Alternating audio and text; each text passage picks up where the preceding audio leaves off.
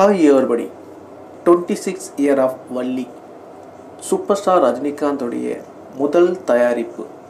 வாங்க வீடியோக்குள்ளே போகலாம் வீடியோக்குள்ளே போகிறது முடியாதா நம்ம சேனலை சப்ஸ்கிரைப் பண்ணலாம். உடனடியாக சப்ஸ்கிரைப் பண்ணிங்க. அண்ட் சூப்பர் ஸ்டார் ரஜினிகாந்தோடைய வள்ளி படம் வந்து இது வரைக்கும் இருபத்தி ஆறு வருஷத்துக்கு மேலே ஆயிடுச்சு. இருந்தாலும் இப்போ வரைக்கும் அது ஒரு பேசு பொருளாகவே இருக்குது ஏன்னா அந்த படத்துடைய கிளைமேக்ஸ் ஒரு ஹைலைட் அப்படின்னு சொல்லலாம். ஏன்னா அவ்வளோ அற்புதமாக செதுக்கியிருப்பார். வள்ளி படத்துடைய அந்த டைட்டில் கடை பார்த்திங்கன்னா வித்தியாசமாக இருக்கும். அங்கே நம்ம தலைவர் ரஜினி ஆர்ட்ஸ் அப்படின்னு போட்டிருக்கோம். அதுக்கப்புறம் பார்த்திங்கன்னா திரைக்கதை வசனம் தயாரிப்பு.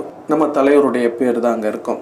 இதில் என்ன முக்கிய அம்சங்கள் அப்படின்னு பார்த்தீங்கன்னாக்கா தலைவர் முதல் முதல்ல அவர் தயாரித்த படம் அப்படின்னாலும் ஒரு சின்ன பட்ஜெட்டு தான் இந்த படம். இந்த படத்தில் பார்த்தீங்கன்னா அவர் கூட படித்தவங்கல்ல அந்த ஃபிலிம் இன்ஸ்டியூட்டில் படித்தாங்கல்ல அவங்கள எல்லாத்தையும் ஒன்று கூடி அந்த அத்தனை நபர்களுக்கும் வாய்ப்பு கொடுத்த அந்த அற்புத குணம் தான் நம்ம சூப்பர் ஸ்டார் ரஜினிகாந்த் அவர்கள். தலைவருடைய கதை வாசனத்தில் நம்ம ஹரி அவர்கள் தான் இயக்குனாங்க. இந்த படத்தில் பாடல் பார்த்திங்கன்னா எஸ்பிபி அவர்கள் பாடியிருப்பாங்க. அதுக்கப்புறம் சொர்ணலதா மேடமும் பாடியிருப்பாங்க. அந்த பாடலுக்கு அவங்க அவார்டும் வாங்கியிருப்பாங்க. இந்த படத்தில் குறிப்பாக பார்த்தீங்கன்னாக்கா நம்ம சூப்பர் ஸ்டார் ரஜினிகாந்த் அவர்கள் அதாவது கதையாசிரியர் விருது வாங்கியிருப்பார். இதெல்லாம் தவிர இந்த படம் பார்த்திங்கன்னா நூறு நாளுக்கு மேலே ஓடிச்சிங்க. எதில் அப்படின்னு பார்த்தீங்கன்னாக்கா சென்னையில் இருக்கிற அபிராமி திரையரங்கில் மதுரையில் பார்த்தீங்கன்னாக்கா எழுபத்தஞ்சி நாள் ஓடிச்சு. இந்த படம் கிட்டத்தட்ட ஒரு இருபது தேட்டருக்கு மேலே ஒரு பத்தொம்பது இருபது தேட்டருக்கு மேலே ஐம்பது நாள் ஓடிச்சு. அதுக்கப்புறம் முக்கியமாக பார்த்தீங்கன்னாக்கா நம்ம சூப்பர் ஸ்டார் ரஜினிகாந்தோடைய படம் எப்படினாலும் ஓடும். ஆனால் இந்த படத்தில் ஒரு சின்ன ரோல் தான் பண்ணியிருப்பார் தலைவர். அந்த வீரையன் பாட்டு அதாவது வீரையனாக வந்து சும்மா கலக்கியிருப்பார்.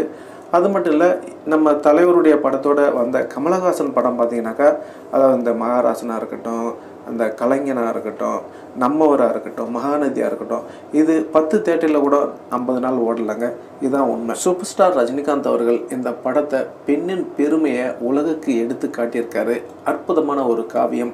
யாராவது பார்த்தீங்கன்னா கண்டிப்பாக கமெண்டில் சொல்லுங்கள் படம் எப்படி இருந்தது? அது மட்டும் இல்லை இந்த படத்துக்கு முக்கியமே கதை தாங்க.